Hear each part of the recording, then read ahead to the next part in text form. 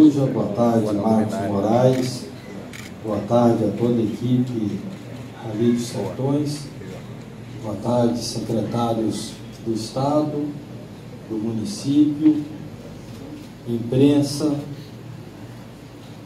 Só uma coisa que talvez seja unanimidade nesse espaço é a afirmativa de que Deus nunca erra.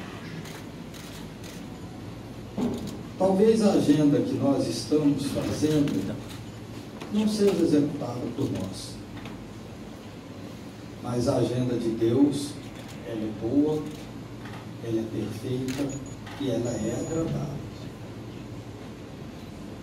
A partir do momento em que Deus nos deu a administração dessa cidade e nos colocou ao mesmo tempo o Reinaldo como governador, nós fizemos aquilo que para muitos dentro do Mato Grosso do Sul era quase impossível, que seria uma gestão compartilhada, conciliatória, consensual. Porque a grande maioria gostaria de ver o quanto pior, melhor. E antes de nós descermos a esse auditório, nós tivemos uma breve reunião na antessala do governo do Estado, e ali nós pudemos trocar as primeiras palavras. E quando nós nos apresentamos e fizemos uma síntese do que seria o Rally dos Sertões, o Marcos Moraes revelou algumas coisas que para mim foram surpresas. Dentre elas, de que é um filho, que talvez não biológico, mas adotivo do estado de Mato Grosso do Sul. Segundo, ele ficou extremamente feliz, perplexo, mas alegre por ver Estado e município de mãos dadas. O que talvez mostra que nós não somos políticos, e sim gestores momentâneos com aval da população. Pois bem, se para uns é, é distante ou muito longínquo o início do Rally dos Sertões, para nós é amanhã. Por isso nós já estamos planejando. Por isso nós já estamos organizando. Porque Campo Grande, Mato Grosso do Sul, praticamente devolveu aos seus munícipes a autoestima de se morar nessa cidade e nesse estado.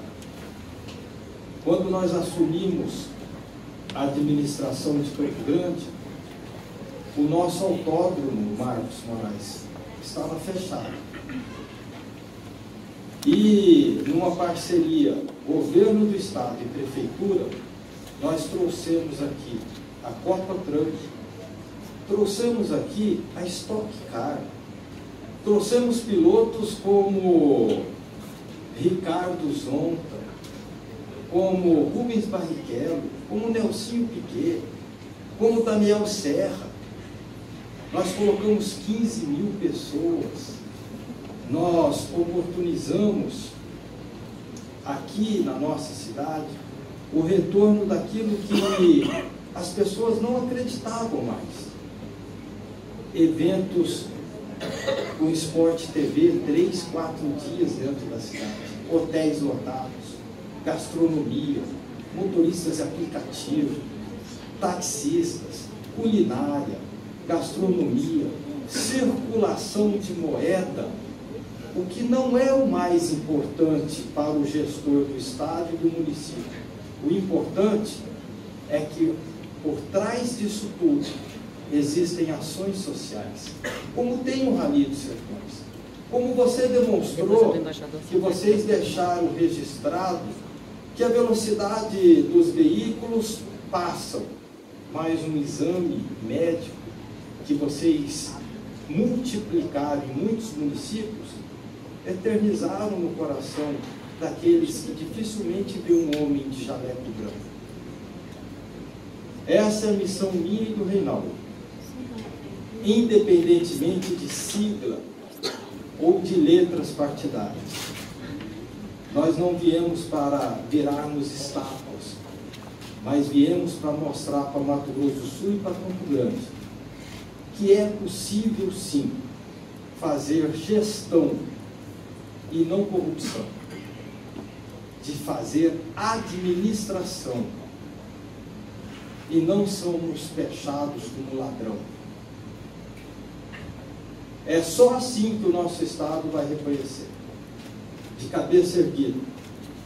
E vocês vão poder sentir que aqui todo o esforço possível, somatizado por equipes e funcionários públicos, concursados ou não, estarão imbuídos do mais alto propósito da boa-fé, de homens de ideias, de comportamentos e ideais.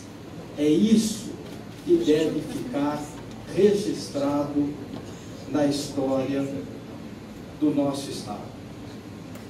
O Rally dos Sertões, na sua 27 edição, atinge 18 estados, atinge 119 municípios. E a largada na nossa cidade só foi possível por causa do empenho do governador Reinaldo Zambujo e da boa vontade do prefeito que ora vos fala. Eu só tenho um pedido a fazer. Não aos homens, mas que Deus abençoe essa nova edição do Raminho Sertões. Boa tarde.